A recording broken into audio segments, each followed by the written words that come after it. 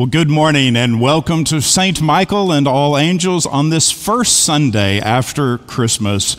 We hope you all had a Merry Christmas. Know that your parish has prayed for all people right around the world, but we pray for those who are ill, those who are alone, and for those who are still traveling. So, standing as you are able, let us continue our worship by singing our hymn 93 Angels from the Realms of Glory.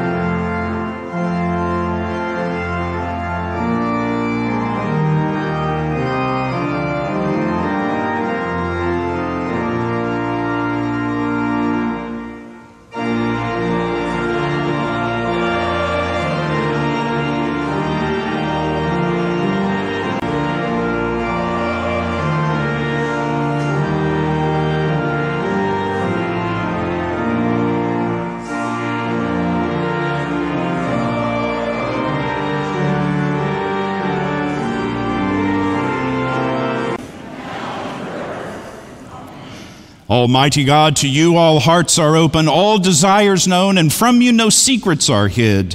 Cleanse the thoughts of our hearts by the inspiration of your Holy Spirit, that we may perfectly love you and worthily magnify your holy name through Christ our Lord.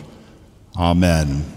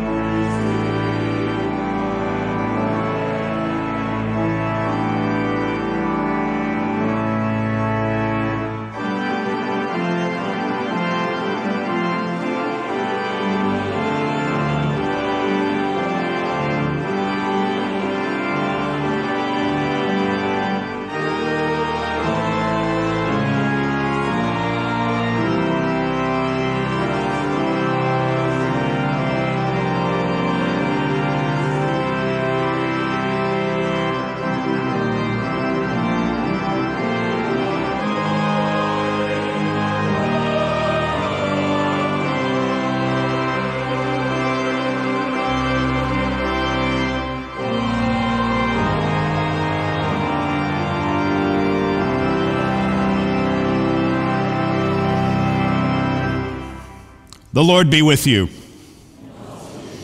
Let us pray. Purify our conscience, Almighty God, by your daily visitation, that your Son, Jesus Christ, at his coming, may find in us a mansion prepared for himself, who lives and reigns with you in the unity of the Holy Spirit, one God, now and forever. Amen. Please be seated.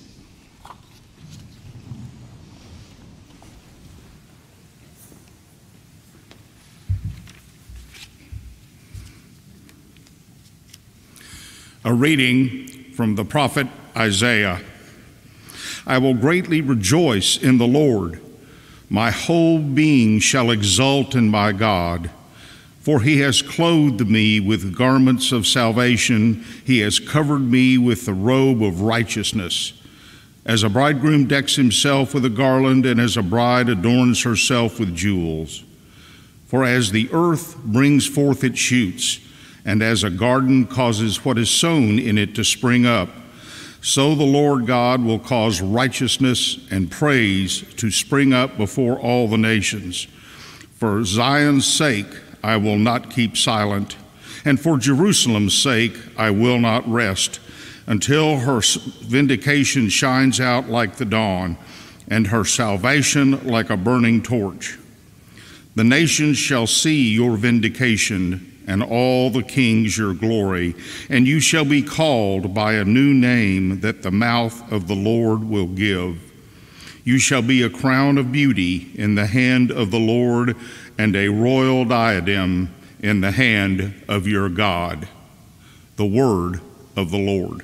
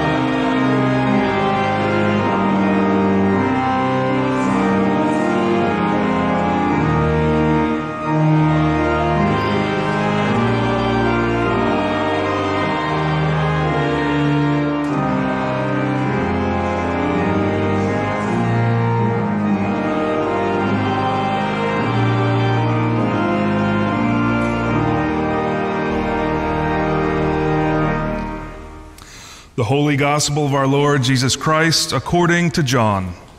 To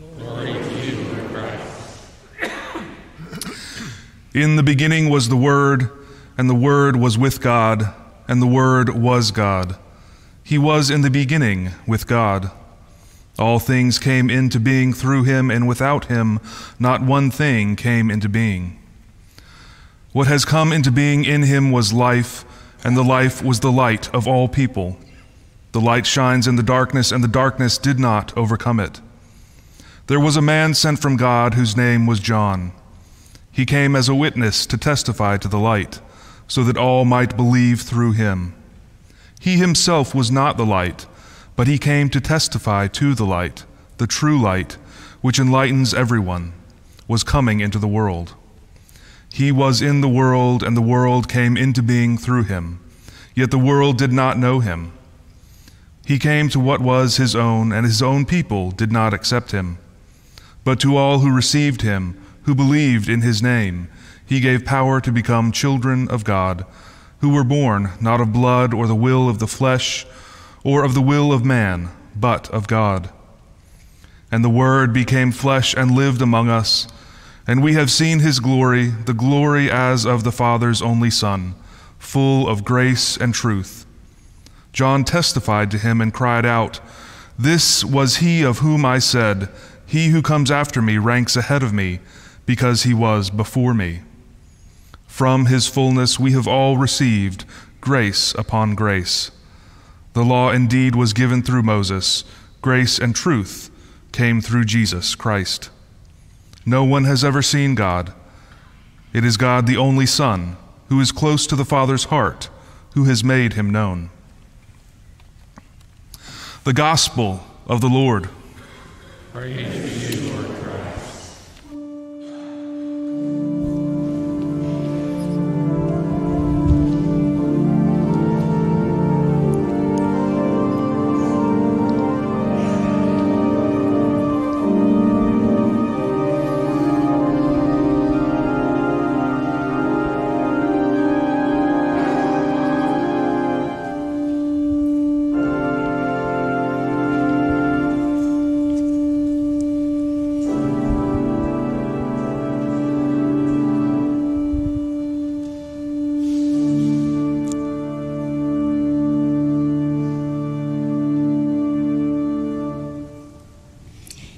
God, Father, Son, and Holy Spirit. Amen. Please be seated. It has been said that the Roman Catholic Church is a Good Friday church. It emphasizes the suffering of Jesus, the physical price he paid on our behalf. That the overall ethos of that expression of the church is one of penitence and contrition. And it has been said that the Orthodox Church is an Easter Sunday church. It emphasizes the path that Christ made possible for us when in his rising, he took our humanity into the Godhead.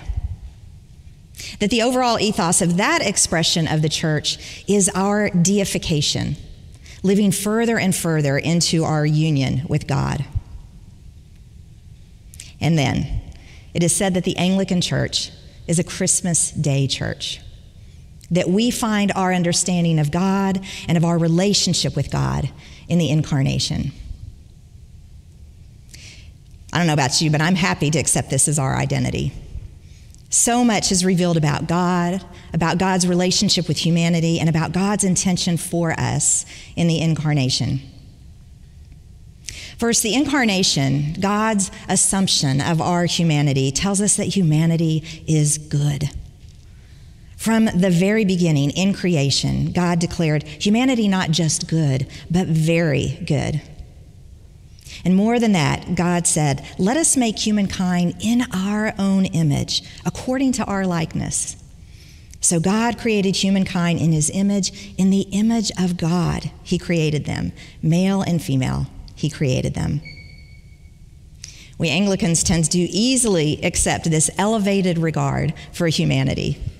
We agree with the psalmist who says, You have made us a little lower than the angels. You adorn us with glory and honor. This is a very different understanding than some of our Christian brothers and sisters. The Reformed tradition holds to the total depravity of humankind, that since the fall, we have no capacity within ourselves to choose the good to, or to choose God. And while we can debate prevenient grace and other theologies, the incarnation slices right through this discussion. If humanity is inherently totally depraved, how could a good, sinless God become one of us? It would be totally incompatible with God's goodness to take into his person corruption. We are good. We are the very locus of God's entry into the world and the venue through which God enacts his salvation of the world. Second, the incarnation tells us that our embodied lives matter. Our ordinary, mundane, earthly existence is not shunned by God, but embraced. More than this, God taking on human flesh tells us that our bodily existence matters relationally. In Jesus, God comes to share in the breadth of our human condition our joy, our pain, our loss, our love, our sickness, and even our death.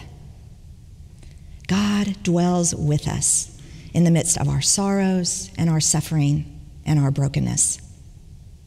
And we encounter God in the fleshy details of our lives. When we care for our children or our parents, when we carry out the responsibilities of our jobs, when we engage folks in the community as we drive, as we shop, as we work for the common good. In taking on flesh, God declares his solidarity with us.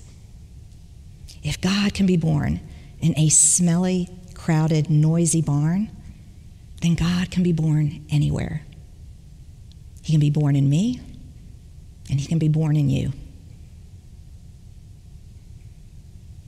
Third, the incarnation means that God moves towards us. You know, we tend to engage our faith thinking that we have to move from where we are to where God is. When we talk about growing spiritually, praying more, studying scripture, our image for this is growing towards God, moving towards God. The incarnation tells us that God comes to us. He makes the move to reconcile us to Him so that there is no space between us, so that we might know how beloved we are to Him. God overcomes the gap between us from God's side. In this, we see how deeply God desires to be in relationship with us. This truth should cause us to feel safe and loved and wanted. And God comes to us not once, but over and over. We are to have eyes that see God incarnate all around us, for He is here. Finally, the incarnation tells us that in the sacrificial work of Jesus, we are redeemed. Jesus didn't come simply to set a good example for us to follow, He came to rescue us. And it seems that He could only do that by living with us and dying for us. In the early church, there was a lot of debate about how much like us Jesus was. Was he fully human except for having a divine mind? Was he fully human except for having a divine will? These issues were debated at the church councils over years, and chunks of the church ended up leaving over them. The church, wanting to give up nothing of the fullness of Christ's humanity and the fullness of his divinity, came up with a beautiful definition of the nature of Christ. Christ is one person in two natures, divine and human, uniting the two natures without confusion, without change, without division, and without separation. It was important that the church keep insisting that Jesus be fully human. Because, as Athanasius, one of our early church fathers, famously said, what has not been assumed has not been redeemed. Jesus had to become all of us if he was going to save all of us. And so, all of who we are is redeemed in Christ. In Jesus, we get a definitive glimpse of God. Before the incarnation, we tried as best we could to know God's will for us, to understand what was important to God, to live in ways that God desired. But we always struggled as if we could only see through a mirror darkly. But in Jesus, God is revealed. God puts skin on the divine attributes so that we can see the life of faith that He desires for us. And this definitive glimpse of God informs how we read and live into Holy Scripture. If Jesus is the definitive revelation of God, then our understanding of Scripture must be consistent with that revelation. We don't hold that there is a previous wrathful, judging God of the Old Testament and a new, gracious, forgiving God of the New Testament. God's character hasn't changed over the arc of Scripture. Our understanding of God has expanded. It might be that we, in our creatureliness, misunderstood God. It might be that we created stories to explain our own desires and actions in ways that claim God's sanction. As Christians, it is appropriate that we read Scripture through the lens of Jesus Christ. If actions and motivations and intentions attributed to God in Scripture are inconsistent with a revelation of God in Jesus Christ, we are called to revisit our understanding of these stories. And so, we Anglicans are proudly and gratefully a people of the incarnation. We know that we are created good. We trust that by becoming one of us, God shows us that we are beloved to Him.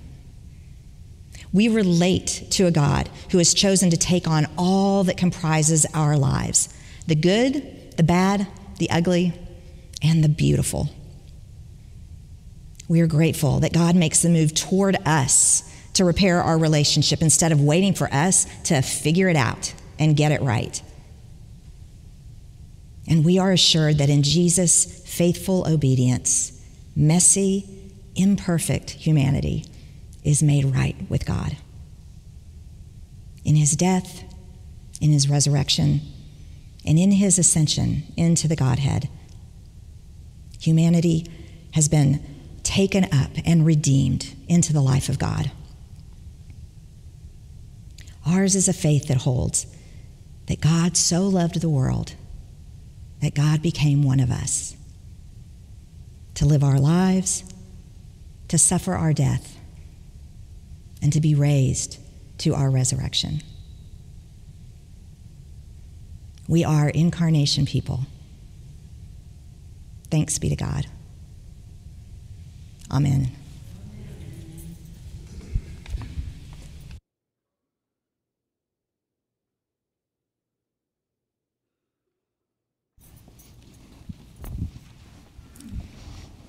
Standing as you are able.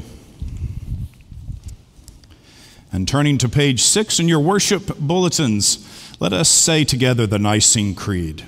Together. We believe in one God, the Father, the Almighty, maker of heaven and earth, of all that is seen and unseen. We believe in one Lord, Jesus Christ, the only Son of God, eternally begotten of the Father God from God, light from light, true God from true God, begotten, not made, of one being with the Father. Through him all things were made. For us and for our salvation, he came down from heaven. By the power of the Holy Spirit, he became incarnate from the Virgin Mary and was made man. For our sake, he was crucified under Pontius Pilate. He suffered death and was buried. On the third day, he rose again in accordance with the Scriptures. He ascended into heaven and seated at the right hand of the Father. He will come again in glory to judge the living and the dead, and his kingdom will have no end. We believe in the Holy Spirit, the Lord, the giver of life, who proceeds from the Father and the Son with the Father and the Son, he is worshiped and glorified. He has spoken through the prophets. We believe in one holy Catholic and Apostolic Church. We acknowledge one baptism for the forgiveness of sins. We look for the resurrection of the dead and the life of the world to come. Amen. Let us pray for the church and for the world.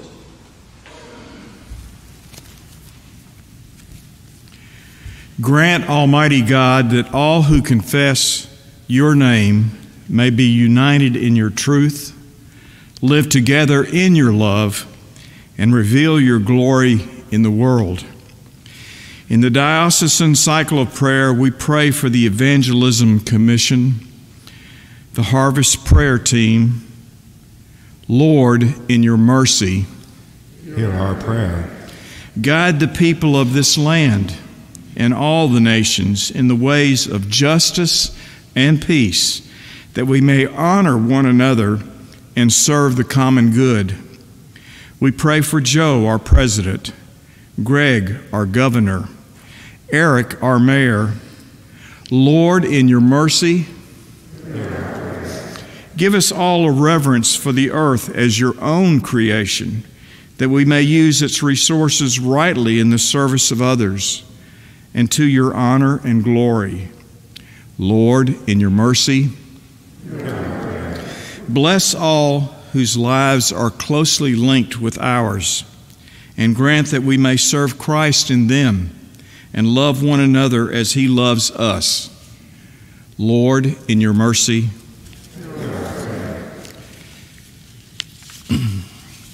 comfort and heal all those who suffer in body, mind, and spirit. Give them courage and hope in their troubles, and bring them the joy of your salvation. We pray for all those on the St. Michael prayer list and for David Boyette, Shannon Fuller, Norma Hurd, Kay Marhoff, Linda Moore, Ann and Jim Piccone, John Shaver, Diana and David Torres, the Williamson family. Lord, in your mercy, we commend to your mercy all those who have died, that your will for them will be fulfilled. And we pray that we may share with all your saints in your eternal kingdom. We pray especially for Patricia Ann Grimes Thompson, Coke Williamson. Lord, in your mercy, Hasten, O Father, the coming of your kingdom, and grant that we, your servants, who now live by faith, may with joy behold your Son at his coming in glorious majesty, even Jesus Christ, our only mediator and advocate. Amen. Let us confess our sins against God and our neighbor.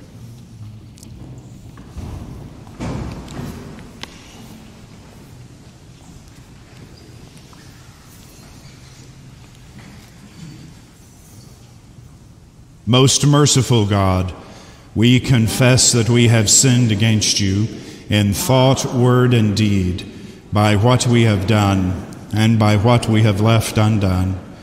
We have not loved you with our whole heart. We have not loved our neighbors as ourselves. We are truly sorry, and we humbly repent. For the sake of your Son, Jesus Christ, have mercy on us and forgive us that we may delight in your will and walk in your ways to the glory of your name. Amen. Almighty God, have mercy upon you. Forgive you all your sins through our Lord Jesus Christ. Strengthen you in all goodness, and by the power of the Holy Spirit, keep you in eternal life. Amen. Let us share a sign of God's peace. The peace of the Lord be always with you. Peace. Peace.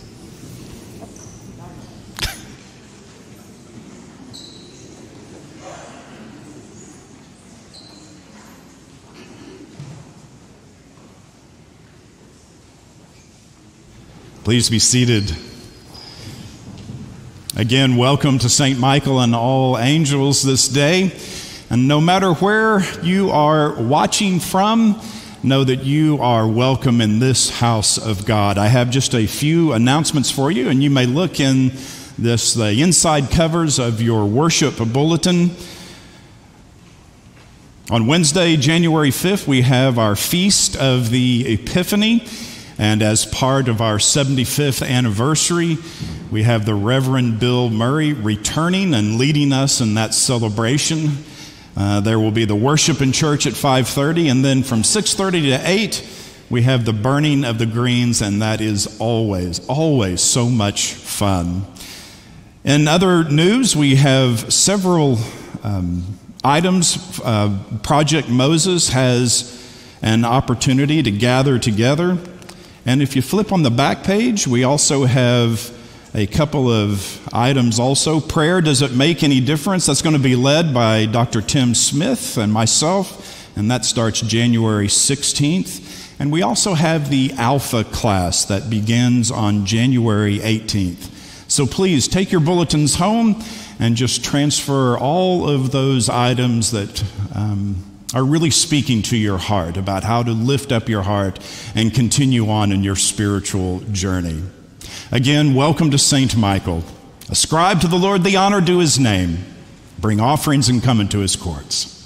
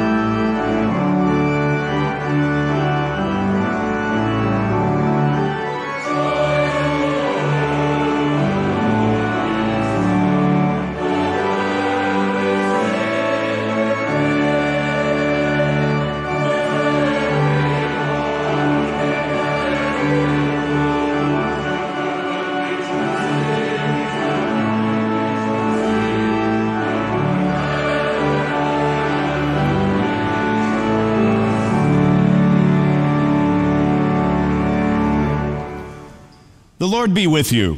and also with you. Lift up your hearts. We lift them to the Lord.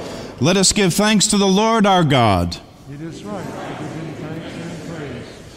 It is right and a good and joyful thing always and everywhere to give thanks to you, Father Almighty, Creator of heaven and earth, because you gave Jesus Christ, your only Son, to be born for us, who by the mighty power of the Holy Spirit was made perfect man of the flesh of the Virgin Mary, his mother, so that we might be delivered from the bondage of sin and receive power to become your children.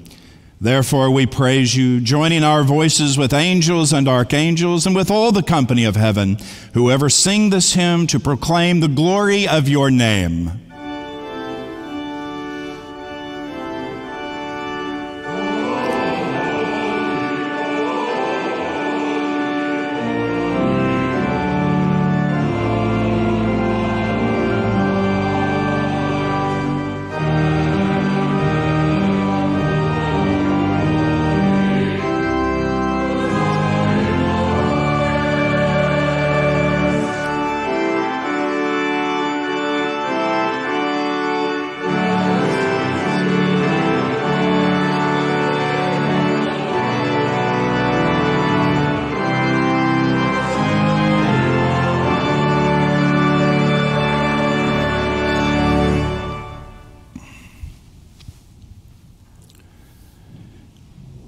We give thanks to you, O God, for the goodness and love which you have made known to us in creation, and the calling of Israel to be your people, and your word spoken through the prophets, and above all in the word made flesh, Jesus, your Son.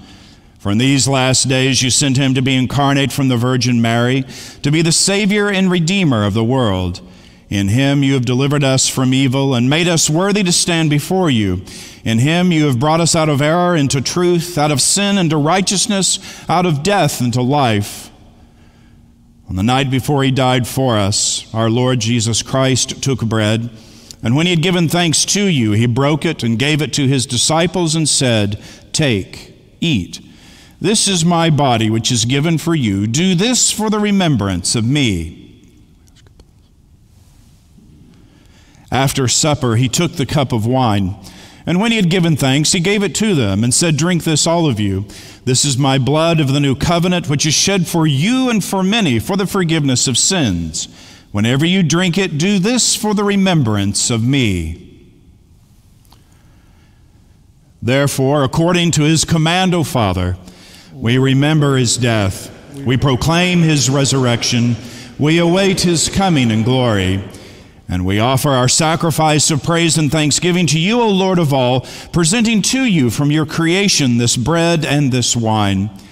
We pray you, gracious God, to send your Holy Spirit upon these gifts, that they may be the sacrament of the body of Christ and his blood of the new covenant. Unite us to your Son and his sacrifice, that we may be acceptable through him, being sanctified by the Holy Spirit.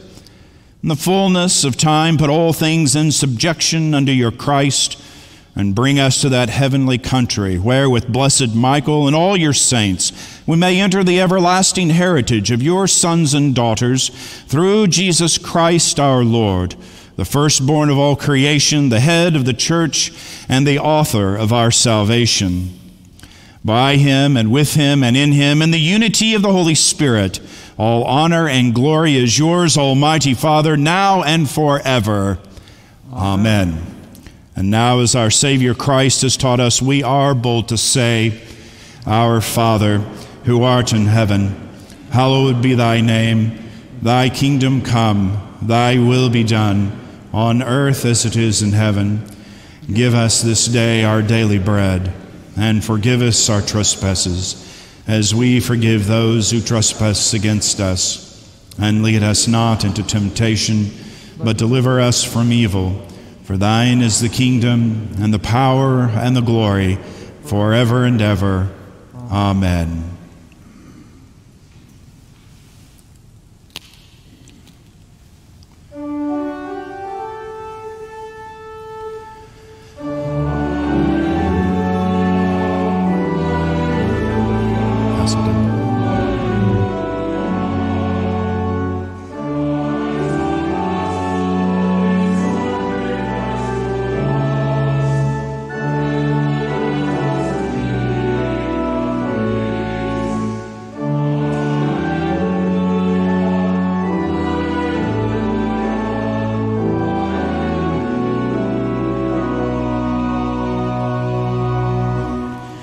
The gifts of God for the people of God. Take them in remembrance that Christ died for you, and feed upon him in your hearts by faith with thanksgiving.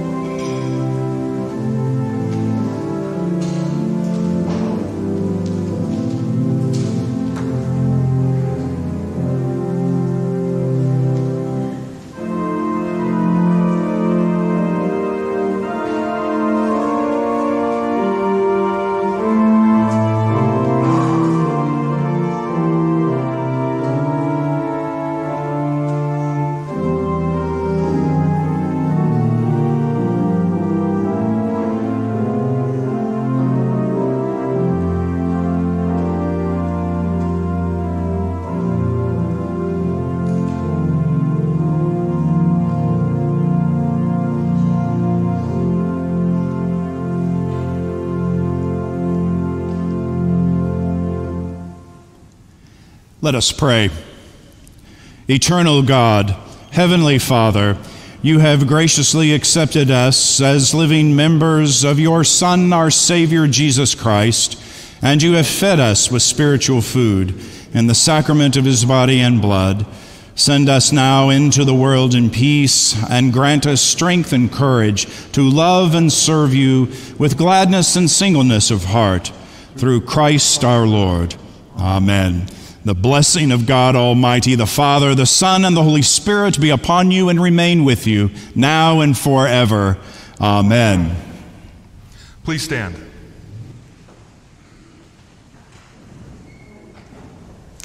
Let us go forth in the name of Christ. Thanks be to God.